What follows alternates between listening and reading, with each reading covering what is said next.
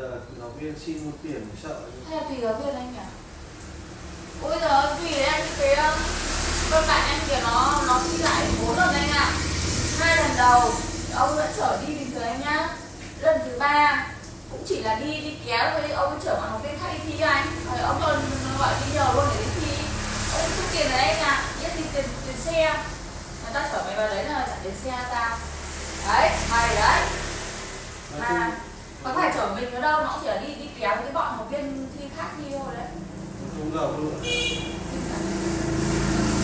em bảo hãy xoay em phát đổ ngay thì nó làm như chung nào con rồi liên quan đến độ mai cho đi đâu thì có có rượu bia rồi. Dạ vâng nhưng mà đến lúc nào mà đến cái giai đoạn đấy thì phải cho em tập nhiên nhiên thì mới dám vậy anh ạ. Ơ hôm qua thì cho em không đi. thì ngày nào tối chịu có thì bảo Huy ấy khổ tốt có đấy với hôm tôi không qua chửi nhau luôn anh Mai khổ đặt cái cái miếng ngày này dài dài đặt đến chân ga ấy, cứ nhảy ra đi không cần tần số tự động mà. Vâng không rồi không lông ga thì bảo ga lên ga lên run run không ấn ga. Thì các bảo đi kiểu gì mà có 20 km và làm gì có ga?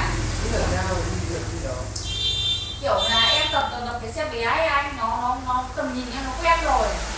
Giờ em là xe cao nên là em ngồi nó lại khác khác tầm nhìn nó lại khác nên lại lại mai nó quen dần mà đi đến không quen và và bữa quen ngay mà anh về đâu không về tuần xong rồi cuối tuần lại đi.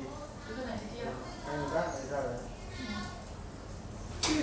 Chưa ấy à anh chưa mổ là Tôi đang ờ, điều trị thuốc trong vòng 6 lần thôi lại tính biết họ tính biết phương án để được mấy lần rồi à? ờ, lần được 4 rồi. À còn hai lần nữa. Không ừ. Tôi khó đóng qua mà Đấy còn nó đi học hết à? Úi giời anh ơi làm gì